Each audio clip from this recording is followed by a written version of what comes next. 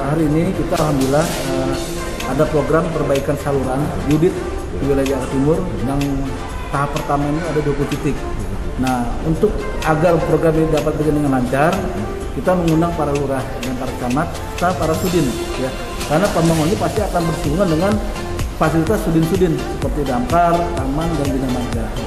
Kemudian di wilayah Pak Lurah pasti juga ada hambatan karena banyak juga masyarakat yang membangun di atas saluran. Sebenarnya nggak boleh. Di pedalaman sudah jelas dilarang melakukan aktivitas bangunan di atas saluran. Ini kesempatan kita ya. Kemudian program ini adalah usulan daripada para RW dan RT pada satu Serembang di tahun 2021.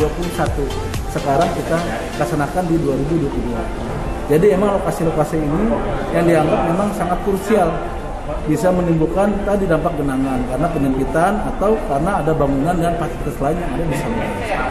Setelah ini uh, dengan pertemuan hari ini diharapkan para lurah bisa melaksanakan sosialisasi kepada masyarakat yang terdampak akibat adanya bangunan yang menghambat saluran supaya mereka paham dan juga nanti bisa dilakukan pembangunan dengan lancar. Jadi nanti ada sosialisasi lanjutan. Lagi kelanjutan ya? ya dari pemilik bangunan juga diundang kembali. Diundang. Nanti pemilik bangunan tadi dipaparkan ada yang menghambat, ini kita undang supaya mereka paham bahwa mereka membangun restoran itu salah. Dimulai pembangunan mungkin setelah Lebaran, sosialisasinya mungkin nanti tergantung dari jadwalnya Sudin nah, SD nanti akan menjadwalkan kapan itu untuk paparan dengan para lurah dan masyarakat dengan pihak ketiga langsung ya.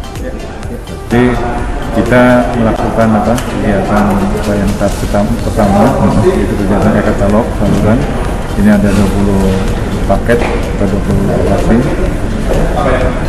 jadi pada hari ini kita sosialisasi dengan lurah camat dan nanti akan berlanjut di tingkat kelurahan. Nah, tingkat kelurahan kita undang RT RW, para tokoh masyarakat termasuk uh, warga yang terkena jalur uh, saluran itu. Supaya tidak ada miss uh, terhadap masyarakat.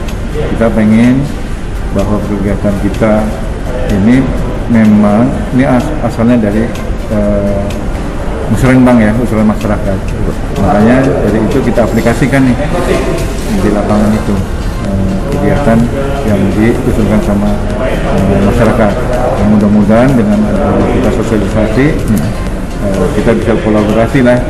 Kita akan dengan karena program ini terkait dengan bina marga, uh, pemadam, taman. Nah ini yang yang, yang sering kejadian di, di lapangan. Jadi supaya tidak ada miss di lapangan. Terima kasih Ya.